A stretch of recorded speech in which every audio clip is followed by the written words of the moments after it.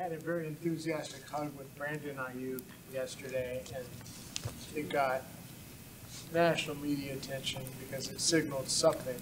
What did that signal? This is usually how we greet each other. Honestly, you guys would see maybe a lot more hugs if in here if we had it filmed for you guys, but we're not on Hard Knocks, so it's the only one on the field. You haven't been on the field a lot, and we walk by each other, and it's usually how we greet each other. Bro hug, nothing more, nothing less. Thank you. Can you characterize where, where things stand with that? I mean, is it still stalemate? A- Any progress? in- Yeah, no updates. Same with Trent. Same with Trent. Uh, he had a uh, his back um, spazzed up the other day. Um, he should be good to go though soon. Center and Pat Elflein got hurt right away. Yeah, practice. Yeah. He, uh, I think he, we think he pulled his calf. Uh, he did it in individual. I didn't get to see it or anything, but I was told that. So um, we think it was a calf. You know, Trey Nye, looks like Cody Schrader's having a heck of a camp. What are you seeing from Cody? I think Cody's doing a good job. You know, he's gotten a number of reps. You know, especially uh, having an injury with Isaac, um, taking care of Christian um, every few days. So he's taking advantage of his opportunities. Really liked him coming out of college, and um, he's getting better each day. A genius by Diamond North the other day. What have you seen from what his effect has been on the defense? I know it hasn't been a ton of time.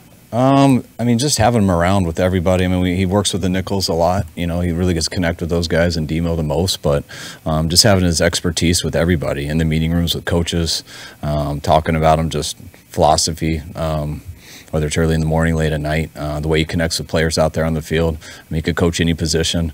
Uh, we all know he's been a head coach, he's been a coordinator. Um, but anybody who's interested in football, uh, he brings something to the table. Something you saw, any first impressions on the kickoffs last night in the Hall of Fame game? I saw, I think there was like eight. I heard. I probably saw three of them, um, and it looked kind of messy.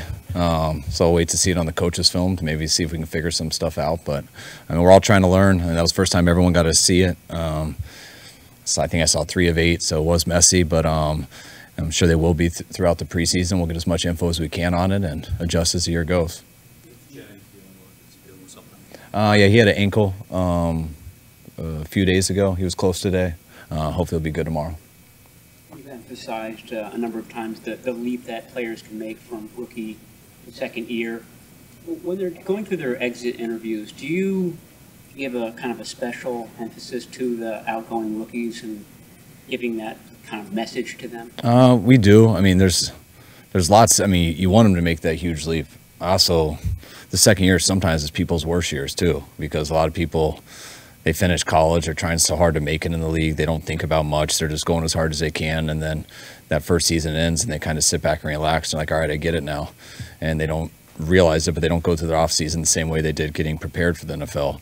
And then it's halfway through training camp and they realize, oh man, I, I haven't made it yet. It's totally different. That's why a lot of guys you see a sophomore slump too, um, but it usually goes one way or the other. Uh, so you stress that as much as you can as a head coach, a position coach, and I think the strongest thing too is veteran players who've been through it and seen it too. I don't, I, a couple days ago, like, when he was going with the ones and the threes, Who's this? uh, Dominick Puni, Yeah. is that, I don't think he was double I think it was just with the ones. What, what does that show you about a player, that he can do that? Is this a special kind of time to see what he can do early in his career? Um, anytime a guy gets opportunities with some guys in front of him getting injured, it's huge for him. They get we, and we got to practice. You got a certain number of guys, so it's always the next man up, and um, you get those opportunities versus the ones defense. Everyone gets to see you, and there's going to be some good, some bad, but it's kind of how you react to it. Um, do you get better each day from it? And it's been cool watching him out there because he's gotten that opportunity, and you can tell it's not too big for him. He's got to work through a lot of stuff. It's a totally different game and going against totally different type of defensive lineman, but uh, you can tell he's made it the right stuff and he's got what it takes, and hopefully he'll continue to progress. Missing the first block of practices, do you, do you like the trajectory you're seeing with Pearsall? I do. Yeah, it's been great to, you know, always it's tough when you have a hammy and you got to be very smart getting him back. We've eased him in. Um, he's gone through that real well. He's been real diligent with his rehab and stuff. And I know his reps went up a little bit more today, but it was a low day overall. And I think tomorrow will be a much bigger challenge. It's a higher practice. We got one on ones tomorrow. And, um, but I've been real happy with his progress so far. Pass in practice, but when that's not happening, obviously you want to see how these guys are blocking downfield. So and play, yeah, and just because the ball gets thrown to him doesn't mean they did good or bad always. I mean, you get zone 80% of the time out there. So I, I'm gonna, I didn't realize he didn't catch a pass, but when I get in there, I'm to watch him run at least 16 routes during plays. So like, you know, you expect everyone to catch it when it comes to you. So um, that really doesn't affect me in terms of like what we see from a practice, but it's been cool watching him in the run game. He definitely understands our standard. It's not someone we have to call in and be like, we need more. Uh, he gets it. He's doing everything he can and um, just continuing to get more reps. Logan Thomas injured. Yeah, hamstring. Um, Now that you guys are a week into camp, is there anything you've seen from him that shows you he's taken a step in any particular area, either physically or mentally, that maybe he's added?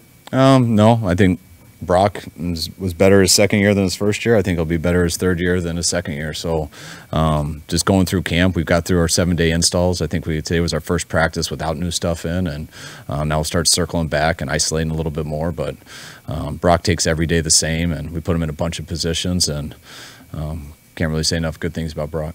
What do you feel about Yiadom when you signed him, and what have you seen from him since he got here in the offseason? Um, and we were a big fan of um, Isaac coming out of college. You know, back at BC, watched him throughout his career in Denver, played against him, um, watching him in Washington last year. Um, him getting in that starting role, thought he played at his highest level, and um, we felt he was playing his best football last year. And since we've gotten him, um, feel even stronger about that. He had a hell of an OTAs, and so far he's having a hell of a camp. Now, how do you feel about Mordecai um, yeah, on the field and in the meetings so far? Uh, He's done a good job. He hasn't gotten too many reps. We gave him, I don't know if you guys were there that one day or not. We gave him a few reps one day. Um, I expect him to get some more um, sooner than later. Oh, uh, One thing that got attention was Brock threw seven interceptions in uh, back-to-back practices.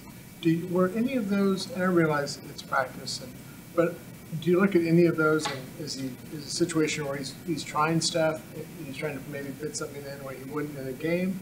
Or some of those just bad decisions, a little bit of everything? Yeah, all the above. Um, there's a different story on each play. Um, I mean, I know always stats are made a big deal in practice, and I know that'll stick out too. And you know, we never won a lot of picks in practice, regardless of who it is. But um, you know, Brock's never really had an interception problem. He's he's protected the ball pretty well in this league for his two years, and he also isn't scared to let it rip too.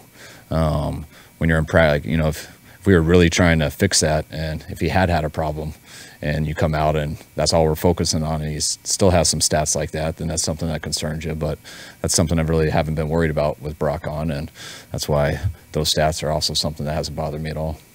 I know you guys always try to manage the workload for certain guys, and just given the, like, the amount of football your team has played the last three, four, five years, do you, have you had to change anything in terms of, you know, trying to manage guys, or maybe add more guys with vet days, any, anything like that? Yeah, I, I- I think in the off season more than anything. I mean, right now when you manage guys too much, it's it's great to get them in the season, but then I actually feel more responsible because you know you haven't prepared them for the season, and the way the whole goal is to get to the season and be ready to play football, and um, that's why you do have to push guys in camp. You know, I feel we've been one of the healthier teams in the league.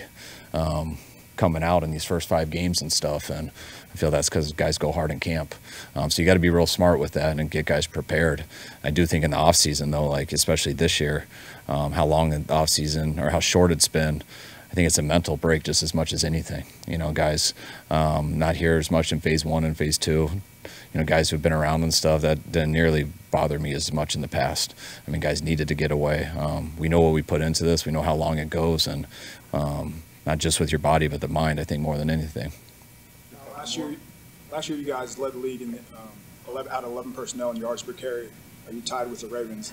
Is it as simple as one team has McCaffrey, one team has Lamar? Or like, is, are you guys evolving? Or how would you, you know, pinpoint your success last year at all? Um, I mean, without me studying that exactly, I think it's probably didn't run the ball quite as much as other people in 11.